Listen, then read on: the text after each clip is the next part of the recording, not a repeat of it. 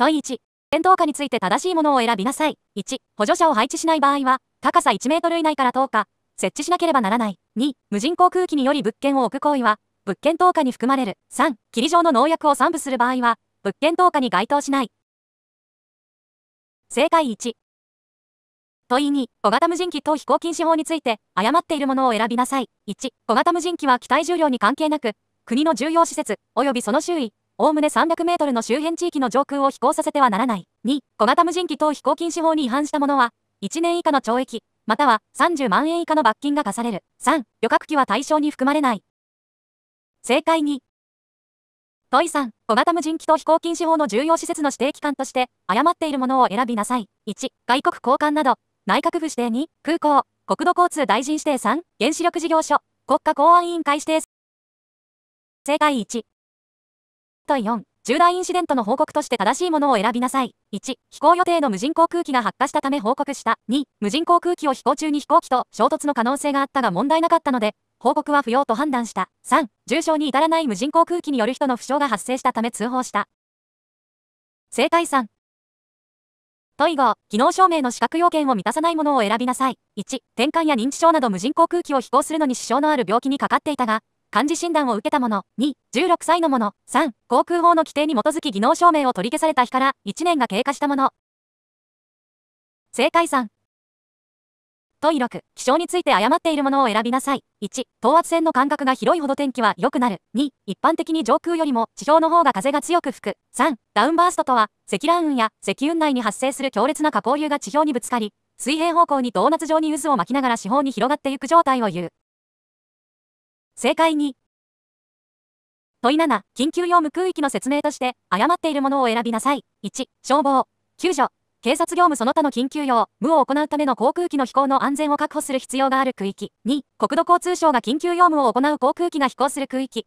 緊急用務区域を指定し、この区域では、原則、無人航空機の飛行が禁止される。重量 100g 未満のも軽航空機を除く。3、国土交通省がその都度、緊急用務区域を指定し、国土交通省のホームページにて公示する。正解に、問8、技能証明と機体認証を受けた者が立入管理措置。補助者もなく目視度と飛行を行う場合における正しいカテゴリーを選びなさい。1、カテゴリー 2B、2、カテゴリー 2A、3、カテゴリー3。正解3。問9、目視外飛行について正しいものを選びなさい。1、操縦者が目視外でも、補助者が機体を目視で確認できる場合は、目視内飛行となる。2、操縦者が双眼鏡を使って機体を確認できる場合は、目視内飛行となる。3、目視外飛行において、補助者の配置の有無で必要な装備が異なる。正解3。第10、補助者の役割について誤っているものを選びなさい。1、飛行経路の安全管理や第三者の立ち入り管理などは補助者が行うべき項目である。2、補助者は飛行目的について操縦者と共通の認識を持っていることが求められる。3、操縦者の妨げにならないように、操縦者に声をかけないことが望ましい。正解3。問い11、機体登録に該当しない無人航空機で正しいものを選びなさい。1、150g の自作機による機体。2、農薬散布用のドローン。3、100g 未満のトイドローン。正解3。問い12機体登録における有効期限で正しいものを選びなさい。1、1年間、2、2年間、3、3年間。正解3。問い13夜間飛行を行う際に正しいものを選びなさい。1、夜間飛行時は、機体が視認できるとかを有することがいかなる時も求められる。2、無人航空機の飛行範囲が十分に照らされているので、投下は不要と判断した。3、夜間飛行とは、国立天文台が発表する日の出の時刻から日の入りの時刻までの間での飛行を指す。正解に。問い14次のうち、免許、または登録を要しない無線局を選びなさい。1、169MHz 対、2、2.4GHz 対、3、5.7GHz 対。正解に。問い15マルチパスの説明として、誤っているものを選びなさい。1、送信アンテナから放射された電波が山や建物などによる反射。屈折などにより複数の経路を通って電波される現象。2、電力損失することなく電波が到達するために必要とする領域。3、反射屈折した電波は到達するまでにわずかな遅れを生じ、一時的に操縦不能になる要因の一つとなっている。正解に。問い16電波の説明として、誤っているものを選びなさい。1、電波は、2つ以上の波が重なると、強めあったり、弱めあったりする。2、使用する電波が極めて微弱な無線局は免許、または登録は不要である。3、2.4GHz の電波は直進性は低いが解説しやすいため、障害物の影響を受けやすくなる。正解3。問い 17GNSS の説明について誤っているものはどれか ?1、GNSS は最低4個以上の人工衛星からの信号を同時に受信することで、その位置を計算することができる。2、GPS はアメリカで開発されたシステムである。3、一般的に位置精度は、高度方向に比べ水平方向の誤差が大きくなる。正解3。問い18回転よく航空機における送信機、モード1の操作に関して正しいものを選びなさい。1、ラダーは右側スティックの左右操作で行う。2、エルロンは左側スティックの左右操作で行う。3、エレベーターは左側スティックの上下操作で行う。正解3。問い19ダイオセンサーの説明で正しいものを選びなさい。1、コードを取得するデバイス。2、加速度を測定するデバイス。3、回転角速度を測定するデバイス。正解3。問い20、飛行日誌に関して正しいものを選びなさい。1、飛行記録、日常点検記録、及び機能証明書を指す。2、飛行日誌は紙と電子データにて保管する必要がある。3、特定飛行に該当しない場合は、飛行日誌への記載は不要である。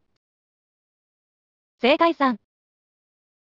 問い21、無人航空機の操縦者などの義務について誤っているものを選びなさい。1、アルコールを摂取したが、濃度 0.15mg 以下だったため無人航空機を飛行させた。2、飛行前の確認で、外部点検、及び作動点検による無人航空機の状況の確認を行って飛行させた。3、無人航空機は、高度150メートル以上、または空港周辺の空域の飛行は原則飛行させない。正解1。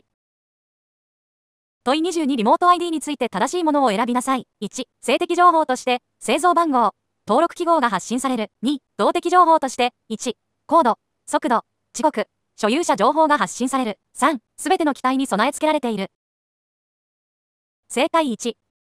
問い23リモート ID の例外として誤っているものを選びなさい。1、無人航空機の登録制度の施行前、2022年6月21日までの事前登録期間中に登録手続きを行った無人航空機。2、あらかじめ国に届け出た特定区域、リモート ID 特定区域の上空で行う飛行であって、無人航空機の飛行を監視するための補助者の配置、区域の範囲の明示などの必要な措置を講じた上で行う飛行。3、警察庁、都道府県警察、または海上保安庁が警備その他の特に秘匿を必要とする業務のために行う飛行。正解1。問い24リチウムポリマーバッテリーの保管方法について誤っているものを選びなさい。1、飛行に備えて極力満充電にしておくのが望ましい。2、バッテリーは高温になる場所は避けて保管する。3、長期間使用しないときは60%を目安に充電し、保管することが望ましい。